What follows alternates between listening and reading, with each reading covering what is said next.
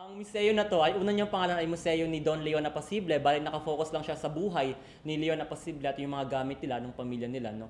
Pero nung April 20 ah, ngayong taon lang 'yon, two years po siyang ni-renovate, almost two years, no. At ah, ginawa ngayon, ginawa na siyang museo ni Don Nina Leon at Galicano Apasible. So bare bali binag, binigyan ng dalawang ah, gallery para kay Galicano ah, yung nakababatang kapatid ni Leon Apasible, parang ano siya, ah, ano siya, reformist tapos Filipino ah, diplomat. So, ah, yun. So ano nga ba yung makikita sa loob ng museum? No? Sa, sa first floor, maliban sa mga interactive displays ay ah, meron kami mga old gamit doon na pag-aari pa nila Leon Apasible. Sa sala naman, no, ay ma- makikita natin doon yung coffee table nila na 1890s pa siya or 19th century siya na klase ng coffee table from ah, Florence, Italy na marble, granite, granite tsaka mga semi-precious ah, stone yung ah, yung art niya no at yung may fleur de lis doon yun yung coat of arms ng Florence at yung old piano from Hamburg, Germany naman kung saan ah, hanggang ngayon ay gumagana pa rin na-acquire siya ng family noong 1930s.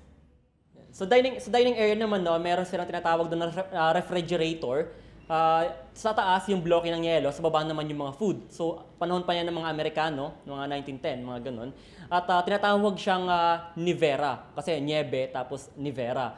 At yung mga wine cups or goblets nila, galing pa sa Florence sa Italy din, na mga gold-plated. At yung ah, red bowl tsaka red ah, vase ah, from the Murano Island off the coast of Venice na tinatawag na Murano glass pattern o Murano glass type.